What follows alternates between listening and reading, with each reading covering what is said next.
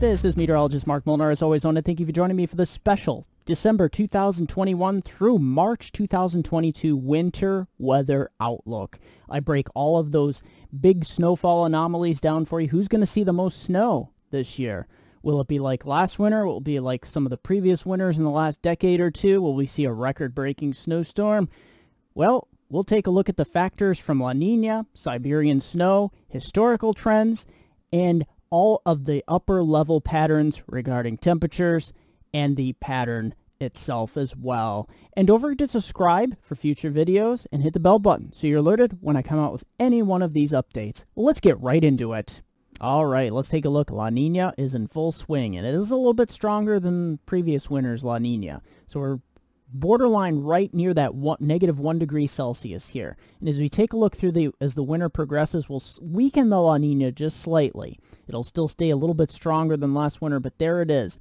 Uh, La Nina is going to be the prevalent uh, driving force this winter. And if we take a look just south of the Galapagos Islands here all the way through November and into early December, you can see how that uh, uh temperature anomaly was strengthening here as the darker blues really take hold and let's take a look at the rest of the ocean here. You can see there's that dark blue really taking hold across the East Pacific. La Nina is definitely going to be the predominant force. But I wanted to bring your attention here off the U.S. East Coast in the Gulf of Mexico. Will some of this really, really warm uh, temperature water for this time of year, will it help feed in and create some decent East Coast snowstorms? Well, let's take a look. All right, let's briefly take a look at the weather pattern before I show you the snowfall map that you want to see of the breakdown of percentages of the anomalies. Uh, let's take a look at the Pacific Northwest. We're starting with this polar jet and this Pacific jet. Mountain snow valley rain will be above average here. We have the high pressure that typically pushes this pattern uh, polar jet to the north, so we get a uh, pretty big ridge here in the Gulf of Alaska and that pushes the cold spells up and over this ridge into parts of the Pacific Northwest, Rockies, and into the northern plains here. And you do want to see a, a slightly above average snowfall or even more across uh, Siberia, Asia, and into northern North America here. And that's what we're seeing. We're seeing at least slightly above average to get the weaker polar vortex to help break off pieces of it and head southeast to help create the snow that many of you love and the pattern for storm tracks will be pretty active here across the plains and the Ohio River Valley heading into interior northeast here. So that'll lead to a variable NAO index. I think it'll be more negative than not, so eh, more negative than positive, and that will help to create any blocking that we may need. Now, I don't think blocking is going to be the predominant force that creates a lot of this snow. I think uh, you can even have a pretty progressive pattern here and still end up with a lot of snow on the north side of these systems, but it'll help any coastal that gets going and slow it down a little bit. I don't think we're going to see a tremendous amount of coastals and nor'easters, but I do think we'll see at least a pretty good couple of nor'easters here and coastal systems in the northeast to help bring some of these snow totals up, especially in interior sections, and help at least get the big cities to at least normal snowfall in the northeast. So that could be pretty interesting. As always with the La Nina, you see the bullseye of the heaviest precipitation across the upper Mississippi River Valley, Ohio River Valley, the Midwest here, Great Lakes, and into parts of the no Northeast here in New England. So that's where the upper level low normally sets up with this type of situation and systems pinwheel around it. You can get some pretty interesting scenarios here. So definitely not boring uh, by any stretch of the imagination. Across the south, we're dealing with above average temperatures, drier, less stormy, and that nose of warm air goes up the east coast, Delmarva, and even as far north as southeastern New Jersey. Now, I don't think that's going to cut snowfall totals down terribly here in parts of the mid-Atlantic. I think you'll end up with normal, and I'll show you next here in the snowfall map. All right, snowfall map. This is the map you've been waiting for. Let's get right and dive right into it here. You can see pretty much the southern half of the country, pretty well void of snow. That's pretty typical of La Nina. We get into the Pacific Northwest. This is where things get interesting. All of those parading storms heading inland here, uh, keeping snowfall in the Cascades 10% to as much as 25% above your average here in Washington, Oregon, and Idaho, and Montana. That stretches east uh, northwest of Denver, about a 10% here in the Rocky Mountains up to the Dakotas, but it's back east here. Now, Normally for East Coast snowstorms, you'd like to see this line a little bit further closer or on the coastline. Uh, we will see some coastal huggers and some nor'easters and coastals. It's not going to be the big blockbuster type coast one right after another, but I think we'll see some pretty decent coastals here, a few of them at least. So I have most of the area in the northeast here at a 10%. The suburbs of New York City, uh, Connecticut, Hartford, Connecticut, Boston, Massachusetts, even Harrisburg, suburbs of Philadelphia, northern Philadelphia there, Pittsburgh, getting in on 10%, State College, Wilkes-Barre, Scranton, and even up into the Binghamton area and Albany, about 10%. Concord, you're right on that 10 to 25%. So right around 25% above your average here. Much of Maine is as well. We'll get some of those coastals intensifying. And you'll also get those uh, systems heading in from the Great Lakes that you'll be on the overrunning northern uh, scenario here. So eastern Maine, you'll get in on some of these coastals bombing out. But here, this is where things get really interesting. All of these, if you look, the, the Ohio River runs right here. This is just north of the Ohio River, the 10% line from central Missouri all the way up into eastern Ohio and Pennsylvania. This is where things on you'll be on a lot of the northern stream of these systems. So eastern Iowa, northern Illinois, northern Indiana, northwestern Ohio, Michigan, uh, Wisconsin, these areas into northern New York, northern Vermont, New Hampshire, southern Ontario, and Quebec, 50% above your average. And in the dark blue here, 25%. So let's take a look at some of the areas here. Chicago, Illinois, Detroit, Michigan, Buffalo, New York, just north of Syracuse. Syracuse here in the 25%. So right up towards Oswego County, up towards uh, Burlington, Vermont. These areas you'll be in the 50%. Erie, Pennsylvania, you're in the 25% as well as I said Syracuse, just north of Albany, Concord, Cleveland, over towards right around Indianapolis here, 25% above your average, Minneapolis, Minnesota. So there's going to be in the next couple of frames I show you, there will be a precipitation anomaly map and it pretty much runs across this entire area. So this is going to be like the battleground going on. This is why I have this area, you'll have the cold air coming in from the northwest. You'll have the warm air coming in from the south. And even when you get some of these lows moving east, maybe some coastal redevelopment, so you'll have moisture coming in from the east. This is going to be the access of the heaviest precipitation this winter. So things are going to get very interesting. It's not going to be boring. I mean, down across the south, yeah, most likely you'll see some occasional cold air outbreaks, but we're not looking at a winter that's going to be blockbuster here across the deep south. It this is mainly up here in parts of the northern tier of the country. So let's get into the particulars on why I think this area is really going to see the biggest chance for this 50% above your average snowfall. Let's take a look. And I follow that snowfall map, snowfall anomaly map with the temperature anomaly map. This is really going to feed into any snowfall anomalies we have. And here it is. I think across the Pacific Northwest, heading from west to east, this is the big story. We'll have some uh, polar and Arctic air being pulled down, especially into the eastern part of Washington and uh, Oregon here into uh, parts of Idaho and the northern plains. So this polar jet stream will be instrumental in helping to push uh, any pieces of the polar vortex across parts of the Pacific Northwest and eventually across the northern Rockies and into the plains and eventually pieces of it across uh, the Ohio Valley, Great Lakes, and the Northeast. So I do think we'll see above average temperatures as usual here as this follows this uh, La Nina pattern here across the south, southwest, and all the southeast. And there it is into southeastern uh, New Jersey. But I don't think that will reach too far to the north and to the east here. So definitely normal here into the uh, regular shades here. Uh, but here we have the negative, right around negative uh, half a degree Fahrenheit here.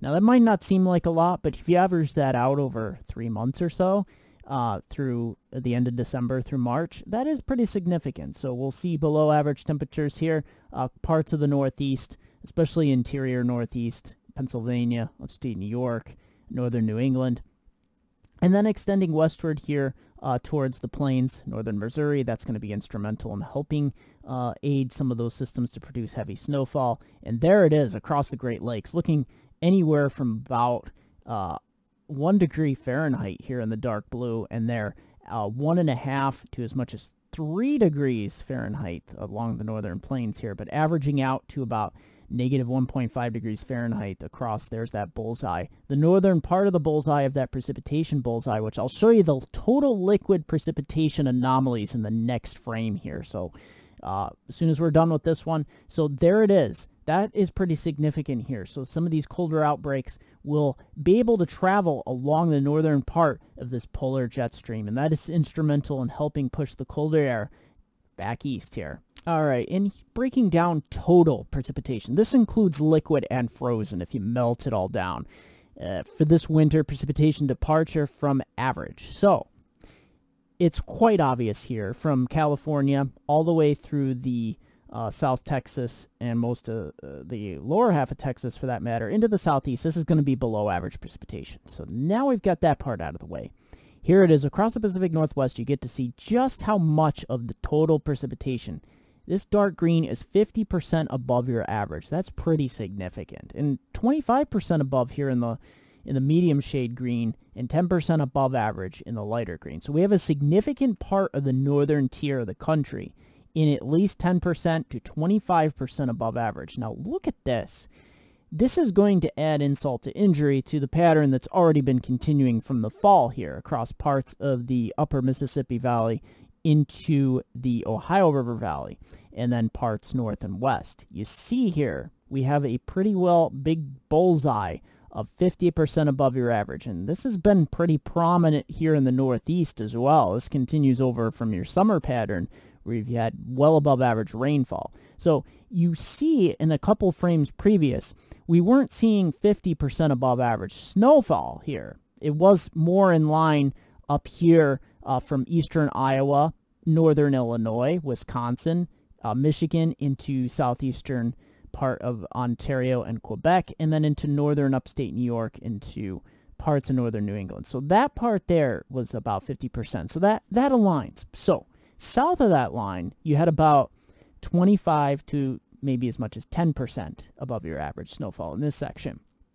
And into parts of the lower Ohio Valley into this section. So you know a lot of this liquid that's falling, that's 50% above average, is going to be in the form of rain. So you're going to have snowstorms and rainstorms. That's a given. So it's going to be, this is definitely the battleground going on here in a La Nina pattern. This type going into this year, this winter, it's definitely going to be quite interesting here. And on the northern edge, as I showed you a couple frames before that, the snowfall and that 50% above average, that is where it's going to get very interesting. So this is definitely not a terribly boring winter. Uh, many people have thought that maybe this would be a boring winter, but I think there'll be areas that it is pretty exciting. So um, this is definitely something to look forward to. I know it's been a slow start. It's definitely, that is definitely no lie. It's been a slow start going from November into December uh, being that, you know, we finally got into winter time here, the first of the winter.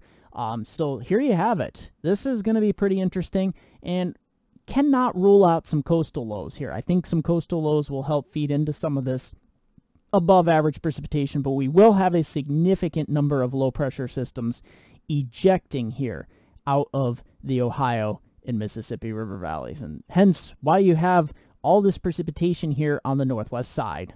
All right, I wanted to leave you with this, uh, the CFS model, uh, the medium range forecast model. It uh, gives you a rough sketch of what's going to happen over the next couple weeks. And the interesting thing is we put that into motion. This is snow cover across North America, and there is Eurasia over here, Asia, and then Europe. We have a lot of snowfall here, especially in Siberia and northwestern uh, North America. And as you know, that always helps to weaken the polar vortex and helps break off it, pieces of it and head southeast, and that's what you want to see for snowfall. Now, we see a decent amount of snowfall throughout much of Canada, and look at that, the continent of Asia and even Europe over here. That is pretty remarkable, Northern Europe. We put this into motion through the rest of December there into January. Look how the snowfall really starts to build here. You start to look at that out west, Pacific Northwest. That correlates to uh, what we've been seeing happen uh, with the anomalies that we're expecting based on historical analogs as well as the trends that happen with a La Nina pattern such as this strength. And you see it's by about the time, take it with a grain of salt because it's going pretty far out, uh, but this is the medium range forecast model, so it does better uh, statistically than some of the other forecast numerical models. In the short term, you see we really start to get the southern extent of that snowpack really starting to extend south come the second week of January and heading on into that last week of January there. Now, I don't know if I believe that, the snowfall line getting as far south as the Gulf Coast states. That might be a little bit overdone, some feedback. But this does a pretty good overall picture. Significant snows continuing across northwestern uh, North America into Siberia, strengthening that. And look at that, you have a lot of snowfall, a lot of snowpack building up here across North America. All right, and taking a look at the CFS for height anomalies. And once again, this takes us through just shy of the end of January. It takes us through the first quarter of winter at least here. So it'll give us a general idea of what we can expect. Take it with a grain of salt because, you know, the it, the the whole detail you're not supposed to look at every little detail but as you can see just around christmas time here right after christmas we start to get ridging in the east. We get to, to get troughiness here across the western part of the continent. But the big idea the takeaway i want to show you is high pressure really in control here across the gulf of alaska. That helps strengthen these cold air cells that push into western North America. Now we do have some blocking forming up here in the first part of January. It's interesting to see we have ridging as far uh, east or southwest as the east coast of the United States. But look how the bottom really starts to fall out here towards that first week of January. This is what I was talking about here. We have uh, two big cells, one on the west coast, one on the east coast. And this will help promote some pretty decent snowstorms if the pattern holds true here. And good blocking up here in Greenland. Of course, you get ridging in between. That can be expected. So you have a lot of back and forth here. So that's why there's going to be a lot of extremes going on here on both coasts. And in the middle, that's where the battleground really takes hold. And look at that. Yeah you even have some retrograding kind of going on here and a lot of troughiness. So it's going to be a very interesting winter. It's going to be a tug of war. So there you go. As always, I want to thank you for joining me for this edition of Weather Eastern uh, Winter 2021-2022 Outlook. As always, I'm going to have updates throughout the winter. I'll have at least two updates a week going into winter here. Hopefully, three updates. I'll be increasing too. So, for all those you that are new to the channel, don't forget to subscribe, hit the bell button so you're alerted when I come out with one of these videos. Also, don't forget to give my Facebook page some love at MeteoMark. Also, Weather Northeastern. You can also visit me on Twitter at Weather Eastern and right here at YouTube, MeteoMark. Don't forget to subscribe, hit the like button if you like the video question or comment down below. I love to read your questions or comments. Welcome to the channel.